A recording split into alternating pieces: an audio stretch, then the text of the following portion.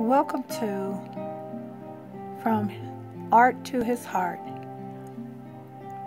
where I feature some of the pieces that I enjoy and I want to share them with you.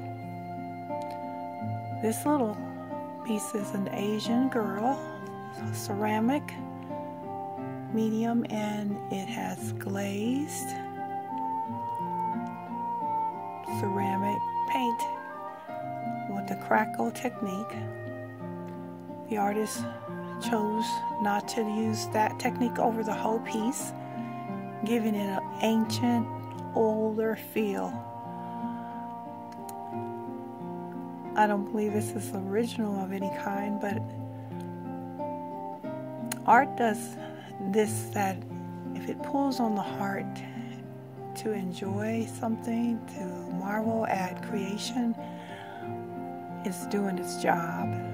Whether it's a million dollars or five dollars at one of your favorite flea markets. This little girl is sitting on like a drum and she's holding a drum, playing an instrument. And that reminds me how I enjoy music and how in the Lord's Word, He also says that we use our instruments to even praise Him with. I'm reminded of the hymn. Well, it's it's written in songs, but it's a scripture actually in Psalms 150 where he says, Praise the Lord. Praise God in the sanctuary. Praise Him in the mighty heavens. Praise Him for His mighty deeds. And praise Him according to His excellent greatness. Praise Him with trumpet sounds. And praise Him with the lute and the harp. Praise Him with tambourine and dance. It's kind of like a, drum, actually.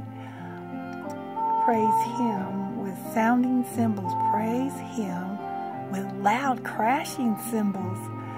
Let everything that has breath praise the Lord. Praise ye the Lord. Oh, that tells me we should really be excited about Him and make a lot of noise because He is worthy of it to let Him know He is so great and that in His creation, things He's blessed us with, very special things He's blessed us with, um, even with art. It just shows all the different unique things that He's given us to enjoy. And that's what I wanted to do is share that with you today. Praise ye the Lord. You all have a blessed day.